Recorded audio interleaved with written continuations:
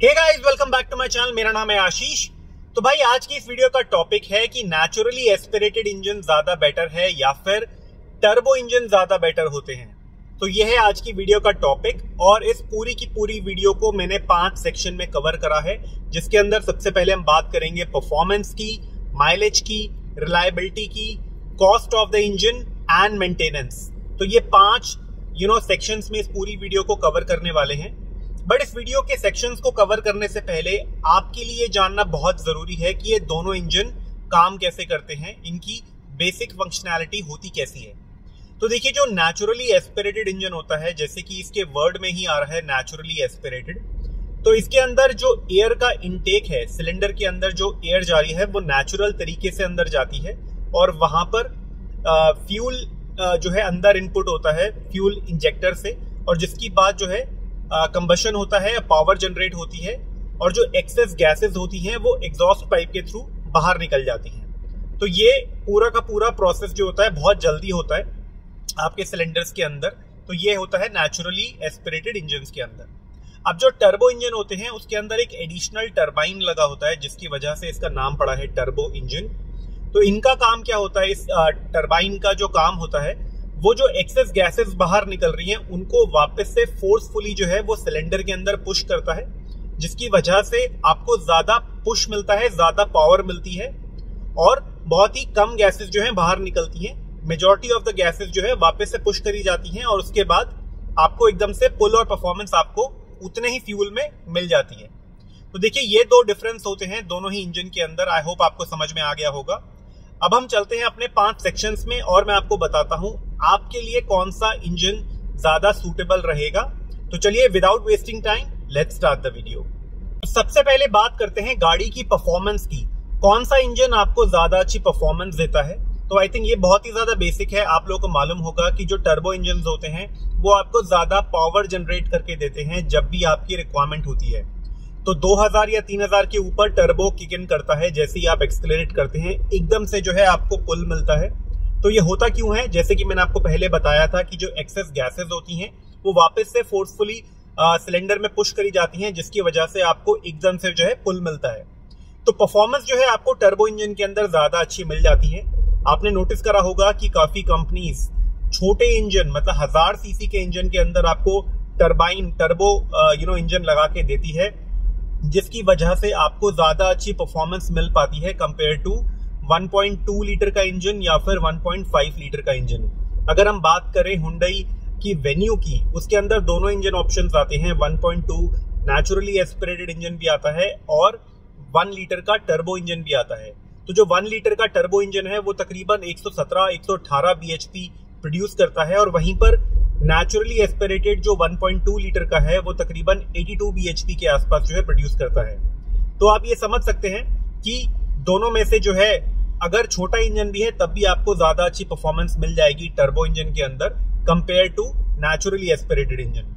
तो जो लोग ज़्यादा हाईवे वगैरह पे ड्राइव करते हैं, जिनको ज़्यादा पावर चाहिए, ज़्यादा पुल चाहिए, जब भी उनकी रिक्वायरमेंट हो तो वो जो है टर्बो इंजन के साथ जा सकते हैं। उनके लिए वो एक बेटर चॉइस रहने वाली है। तो दोनों इंजन में से कौन सा इंजन आपको ज़्यादा अच्छी माइलेज निकाल के देगा? तो काफ़ी लोगों के मिथ रहते हैं कि जो टर्बो इंजन होते हैं, उसके अंदर क्योंकि टर्बो होता है और सडन पावर हमको मिलती है तो वहाँ पर जो है माइलेज हमको कम मिलती है। तो ऐसा नहीं है, ये केवल एक मिथ है। टर्बो इंजन जैसे मैंने आपको बताया, जो फंक्शनैलिटी मैंने आपको इस पूरे प्रोसेस की बताई थी कि टर्बो इंजन काम कैसे करता है, जो एडिशनल जो जो गैसेस बाहर की ओर निकल रही होती है, उनको फोर्सफुली जो है अंदर पुश करता है, जिसकी वजह से आपको ज़्यादा पावर मिलती है। तो फ्यूल का जो कंजम्पशन है, वो तो उतना ही हुआ जो गैसेस बाहर निकल रही थी, उनको वापस से पुश किया गया, जिसकी वजह से आपको ज़्यादा पावर मिल पाई। तो ये होता है पूरा का पूरा टर्बो इंजन का प्रोसेस जिसकी वजह से आपका जो फ्यूल कंजम्पशन है, वो ज़्यादा नहीं वेस्ट होता और आपको ज़्यादा अच्छी पावर मिल पाती है। और अकॉर्डिंगली आपको माइलेज भी जो है, ज़्यादा बेटर आपकी गाड़ी आपको दे पाती है, क्योंकि कंपनीज़ जो हैं, वो छोटे सिलेंडर के साथ में आपको टर्बो इंजन प्रोवाइड करती है। तो जब आपको छोटा सिलेंडर आपकी गाड़ी में दिया जाता है तो ऑटोमेटिकली जो है आपको ज़्यादा अच्छी माइलेज मिल पाती है और परफॉर्मेंस भी मिल पाती है जब भी आपको चाहिए होती है तो। तीसरे पॉइंट की बात करें कि रिलायबिलिटी कौन से इंजन की ज़्यादा बेहतर है। तो देखिए, अगर आपको गाड़ी लंबे समय तक रखनी है, आपको जो है 10-12 साल 15 साल तक अपनी गाड़ी को चलाना है तो आपको नेचुरली एस्पिरेटेड इंजन लेना चाहिए बिकॉज़ उसकी रिलायबिलिटी ज़्यादा लंबी होती है, क्योंकि पूरा का पूरा प्रोसेस जो होता है वो नेचुरल तरीके से होता है। जहाँ पर भी इंजन के साथ छेड़छाड़ होती है फोर्सफुली जो है चीज़ें पुश करी जाती हैं, वहाँ पर कहीं ना कहीं जो है इंजन पर इफ़ेक्ट पड़ता है बट धीरे धीरे जो है टाइम के साथ इंजन और रिफाइन होते जा रहे हैं कंपनीज़ इस पे काम कर रही है तो आने वाले टाइम में I am sure turbo engine भी जो है ज़्यादा रिलायबल हो पाएँगे बट अभी के लिए फ़िलहाल जो है, अभी नेचुरली एस्पिरेटेड इंजन जो है वो ज़्यादा रिलायबल हैं फॉर लॉन्गर रन तो अगर आपको लंबे समय तक गाड़ी रखनी है 12-15 साल तक रखनी है तो आपको नेचुरली एस्पिरेटेड इंजन रखना चाहिए, लेना चाहिए।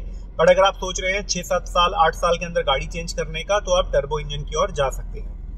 तो चौथे पॉइंट की अगर बात करें कि कौन सा इंजन ज़्यादा मेंटेनेंस माँगता है, क्या वो नेचुरली एस्पिरेटेड है या फिर टर्बो इंजन है? तो देखिए नेचुरली एस्पिरेटेड जितनी भी चीज़ें मैंने आपको बताया नेचुरल तरीके से होंगी, उसमें वियर एंड टीयर कम होगा और उसकी मेंटेनेंस जो है हमेशा लो ही रहेगी। बट जहाँ पे टर्बो इंजन की बात करें, क्योंकि फोर्सफुली कोई चीज़ों को पुश करा जा रहा है और जिसकी वजह से अंदर कम्बशन चैम्बर में थोड़ा बहुत वियर टीयर होता है, जिसकी वजह से वहाँ पर ज़्यादा यू नो मेंटेनेंस की ज़रूरत पड़ती है। तो इस केस में सिंपल सा आंसर ये है कि टर्बो इंजन जो है वो कंपैरेटिवली थोड़ा सा ज़्यादा मेंटेनेंस माँगता है और उसकी लाइफ भी कम रहती है। और वहीं पर जो नेचुरली एस्पिरेटेड इंजन है, वो लंबे समय तक चलते हैं। आपने काफ़ी बार सुना होगा टोयोटा के जो इंजन हैं, जो नेचुरल एस्पिरेटेड इंजन हैं, वो पाँच लाख, दस लाख चल गए या फिर कुछ ऐसे इंजन जो है, लंबे समय तक चल जाते हैं, वो ज़्यादातर naturally aspirated naturally aspirated engine होते हैं। वहीं पर टर्बो इंजन जो है, वो ज़्यादा मेंटेनेंस भी मांगते हैं और उनकी जो रिलायबिलिटी है, वो भी थोड़ी सी कम होती है compare to naturally aspirated engine तो अगर हम बात करें कि दोनों इंजन में से कौन सा इंजन ज़्यादा महँगा आता है तो इस पर्टिकुलर क्वेश्चन का आंसर आपको जो है प्राइस लिस्ट में मिल जाएगा। अगर हम उसी हुंडई वेन्यू की बात करें, जो मैंने आपको पहले बोला था हुंडई वेन्यू 1.2 का बेस मॉडल तकरीबन 9 लाख के आसपास आपको मिल जाता है। वहीं पर जो इसका टर्बो इंजन है टर्बो का जो बेस मॉडल है, वो तकरीबन साढ़े ग्यारह या पौने बारह के आसपास जो है आपको मिलता है। तो तकरीबन यू नो दो लाख के आसपास का फ़र्क है आपका टर्बो इंजन और नेचुरली एस्पिरेटेड इंजन के अंदर। तो यहाँ पर जो एडिशनल यू नो टर्बो की किट जो फिट करी गई है गाड़ी के अंदर, उसकी वजह से जो है टर्बो कार्स की जो प्राइस है वो ज़्यादा बढ़ जाते हैं। बट क्योंकि आपको अच्छी माइलेज आपको टर्बो इंजन के अंदर मिल जाएगी तो अगर आप टर्बो इंजन के साथ भी जाते हैं तो आपको ज़्यादा यू नो दुख नहीं होगा, ज़्यादा आपके पॉकेट पे भारी नहीं पड़ेगा और आप जो है कॉस्ट इफेक्टिवली जो है, इस खर्चे को जो है, वसूल कर सकते हैं। और जहाँ तक अगर मैं आपको सजेस्ट करूँ तो कभी भी हैवी गाड़ी जो है आपको नेचुरली एस्पिरेटेड इंजन में नहीं लेनी चाहिए और छोटे सिलेंडर के साथ। काफ़ी लोग क्या कर रहे हैं, जैसे वेन्यू की 1.2 लीटर का अगर ले लेते हैं वो तो वहाँ पर उनको कहीं ना कहीं परफॉर्मेंस का लैग रहता है, क्योंकि भाई वेन्यू जो है भारी गाड़ी है। वहाँ पर अगर आप 1200 1200 सीसी का इंजन दोगे तो वहाँ पर वो उतनी परफॉर्मेंस आपको गाड़ी नहीं दे पाएगी जब भी आपको ज़रूरत होगी। तो सिटी वगैरह यूज़ के लिए जो है वो इंजन ठीक है बट हाईवे वगैरह पे अगर आप निकलते हैं तो वहाँ पर आपको परफॉर्मेंस का लैग रहेगा। ये आपको थोड़ी बहुत जो है दिक्कत रहने वाली है। तो भाई, ये थी मेरी एक वीडियो। आई होप आपको समझ में आई होगी और आपके थोड़े बहुत डाउट्स जो है वो क्लियर हो गए होंगे। बट इस वीडियो को एंड करने से पहले मैं आपको एक छोटा सा टिप देना चाहता हूँ कि जब भी आप एक गाड़ी खरीदने जाएँ तो हमेशा जो है अपनी रिक्वायरमेंट को कंसिडर करें। अगर आपकी यूसेज ज़्यादा सिटी के अंदर है बम्पर टू बम्पर है तो वहाँ पर आप एक नेचुरली एस्पिरेटेड इंजन को खरीद सकते हैं। बट जहाँ पर आपको परफॉर्मेंस चाहिए या फिर हाईवे वगैरह पे आपकी ज़्यादा ड्राइविंग होती है या फिर आप ड्राइविंग एंथुजियास्टिक हैं और आपको परफॉर्मेंस चाहिए जब भी आपको ज़रूरत हो तो उस केस में आप जो है टर्बो इंजन के साथ जा सकते हैं। आपको परफॉर्मेंस भी मिलेगी, आपको माइलेज भी मिलेगी, बट आपको रिलायबिलिटी पे कहीं ना कहीं कॉम्प्रोमाइज करना पड़ेगा।